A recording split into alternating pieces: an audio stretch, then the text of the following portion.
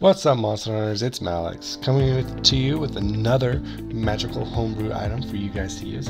Now, this one, I'm not gonna lie, I cheated on. Um, in my campaign, I really like to bring some of my own flavor to it, and some of my own flavor is making references to other um, items.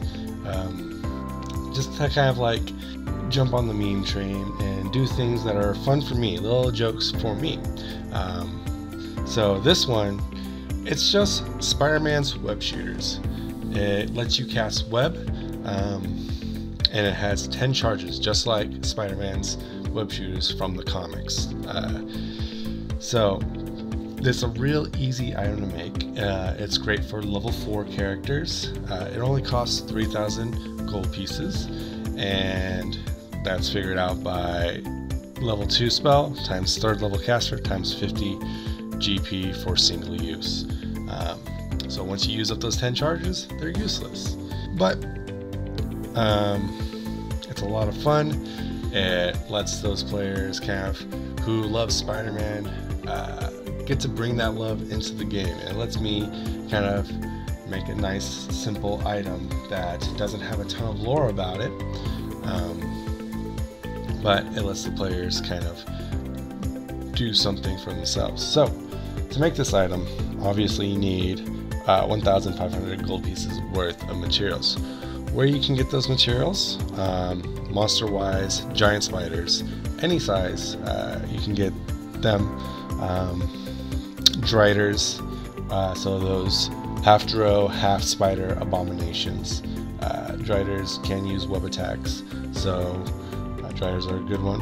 Ettercaps. Now, ettercaps I feel like are the most likely to make these web shooters. Or not make the item, but be, to be used for those web shooters. They're monstrous, uh, they're terrifying creatures, um, so, and they use their webs for traps.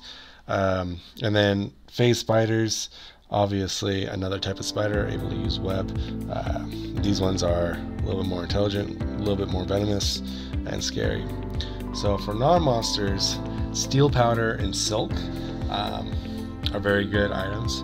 If you want to be really uh, sneaky about it, you could look up what spider silk is actually made of, those chemicals, and you can put those as items. And then it's a more technological item. Um, instead of being magic focused, it's more technology focused, kind of like the original Spider Man. Um, now, uh, 3,000 gold pieces for to be able to use a second level spell 10 times and then you're done. Kind of seems kind of high.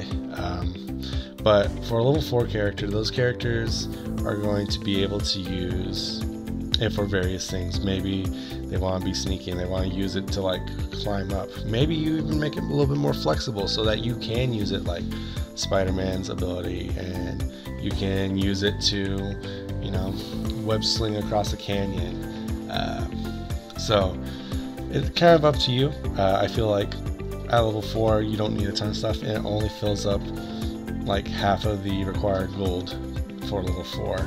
Um, we're going to have a bunch of other stuff. Um, and web is actually a pretty devastating spell that can grapple low level characters, weak monsters. Uh, you're not going to want to use it on giant stuff, but like for goblins, it can put a lot of goblins out of commission.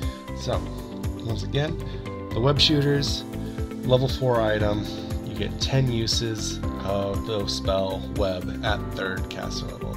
Alright, I hope you enjoyed this video. Uh, please like and subscribe. Leave a comment down if you want me to kind of discuss another item and what you can use to make it. Um, if you want to see more videos from my other series, please leave that down in the comments down below.